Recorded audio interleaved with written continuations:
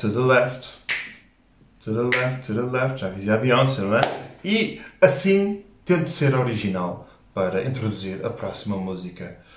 Ok, eu sei que não foi nada original, mas pelo menos tentei, ok? Já quase meia-noite e meia e também estou cansado e sem grande criatividade.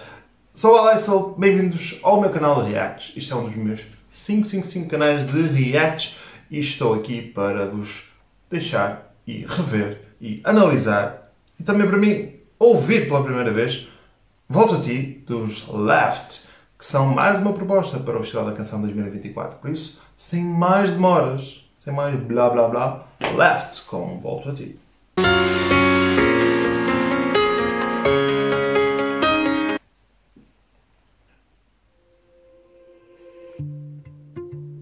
Ok. Parece que não é os left, mas sim o left. O esquerdo. O esquerda. Feitas as contas, já conto em ficar no mesmo espaço, contigo ao meu lado.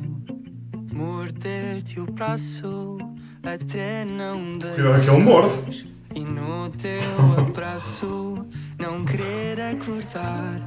Liga a qualquer hora, eu volto a ti. Se me for embora, eu volto a ti.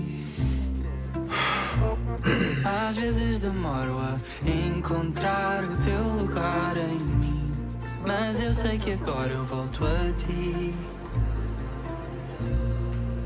Passaram anos e tudo acabou. Foram-se os planos de sermos avós. O refrão passou e nem percebi. Está muito monocórdica a música. E Espero que cresça e evolua um bocadito. Sei que me odeias para facilitar Isto é o refrão, não é? todo o processo de abandonar. Trago nas veias o peso de nós. Não estou por perto, mas ouço a tua voz. Ritmo. Liga a qualquer hora eu volto a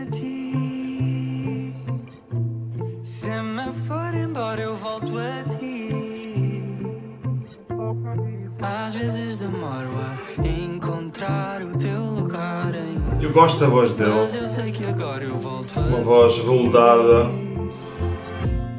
Liga a qualquer hora eu volto a ti. Se me for embora eu volto a ti. A música é meio que embala.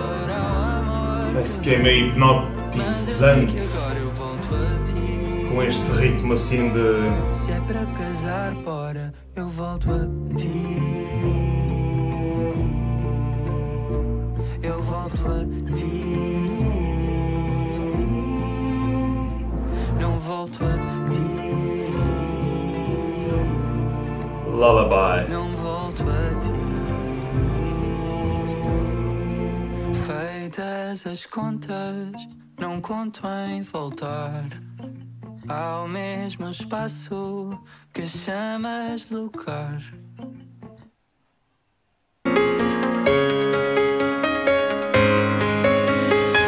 E acabou de uma maneira completamente inesperada, assim, de uma forma. Tipo, parece que alguém pôs mute e se não tivesse atento nem tinha percebido que era o final da música. ahm, Vamos ver como é que eu vou definir isto. É monótono demais para levar a uma Eurovisão. É monótono demais, isto não, não teve muita expressividade, não sei como é que ele vai apresentar isto em palco. Ahm, eu poderia comparar isto a uma música de Salvador Sobral se tivesse melodia, uma melodia envolvente, uma melodia mágica, mas não teve. Parece, sei lá, um- quando, quando estamos a ver aquelas séries em que está a dar ali uma cena em que é meia-noite e está toda a gente a dormir e está tudo escuro e alguém se levanta e vai à casa de banho e pronto, e está ali num, num momento de reflexão e, e que pronto, naquele episódio da série nem desenvolve, nem meio que desenvolve e está ali um bocado. A música, a música não é má, a voz dele não é má, já disse, eu acho que a voz dele é muito interessante, é, é muito envolvente. Articula bem as palavras, a letra tem o seu quê de interessante, mas para o conceito Festival Eurovisão da Canção, não. Não. Não parece que é uma música que vá passar sequer à final, a não ser que ele surpreenda em palco e insira algum elemento novo.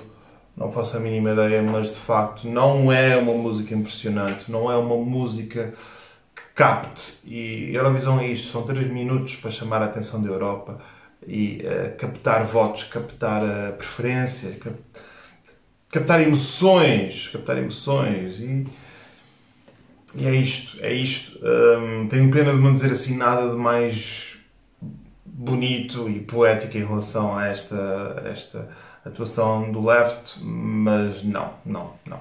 Agora volto a ti, volto a ti para que tu possas me dizer aquilo que achas desta música e do cantor em si. Isso seria uma boa proposta para levar a Malmo, Suécia. Estou a ser injusto se não estou Todos nós temos uma opinião, eu tenho a minha e vou ser sempre muito sincero, mas acima de tudo, respeitar os cantores e as músicas. Pessoal, obrigado por estarem aí desse lado. Não se esqueçam de subscrever o meu canal assim. Já sabem, vemos no meu próximo vídeo, por isso até lá. Tchau, tchau!